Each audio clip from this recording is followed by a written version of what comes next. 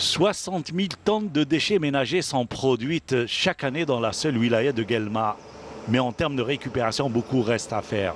Le recyclage des déchets ménagers est encore faible chez nous. Moins de 20% seulement sont récupérés et recyclés.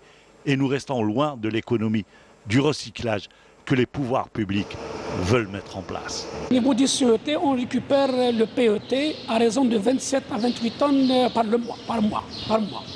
Pour le PAHD, c'est plus, c'est encore moins, à raison de 5 à 6 tonnes par mois. Pour le carton, on a mobilisé, on a mobilisé tout un camion, un camion uniquement pour le, pour le récupérer à la main, c'est-à-dire au niveau des, auprès des grandes, grandes surfaces commerciales.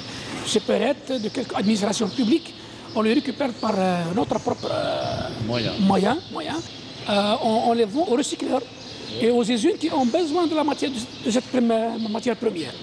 Et que les usines de, de, de- de fabriquent des, des chaises en plastique. et. Donc c'est les recycleurs qui sont vraiment intéressés. La récupération, elle se fait donc euh, au niveau du CET, mais, euh, mais il est donc euh, la, la- la meilleure récupération, c'est la récupération qui devrait se faire en amont, c'est-à-dire au niveau des ménages. C'est à cause de ça qu'il y a des campagnes, sélectif. un tri sélectif. C'est à cause de ça, c'est à cause de ça que euh, au niveau des ménages, on fait des campagnes de sensibilisation. On a lancé même un quartier, un quartier pilote le 22 mai donc de, de- l'année passée, donc 2018. On a la- donc on a lancé donc une, euh, une récupération donc tri sélectif, tri sélectif au, au niveau d'un quartier euh, au niveau de Guelma. Mais souvent, ce sont des campagnes qui restent sans lendemain, même si l'objectif est louable. L'opération de tri sélectif se fait dans les centres d'enfouissement technique généralement.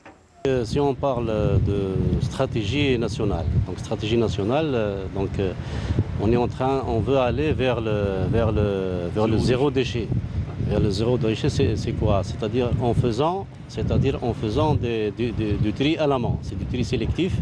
Et aussi en arrivant vers les CET, il y a même au niveau des CET, on fait encore plus de tri.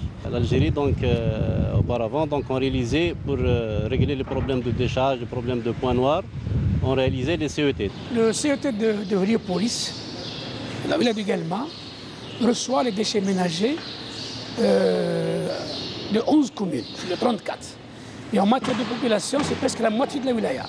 Soit une quantité mo- moyenne de 150 à 160 tonnes jour. La collecte et le transport se fait euh, par les services de communes.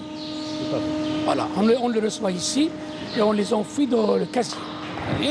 Tout en, opérant, tout en faisant une, récupération malheureusement manuelle.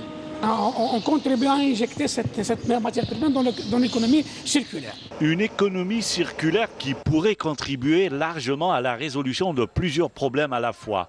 La résorption du chômage avec la création de petites entreprises de récupération, le recyclage et bien sûr régler aussi les problèmes de notre environnement qui croule sous les déchets.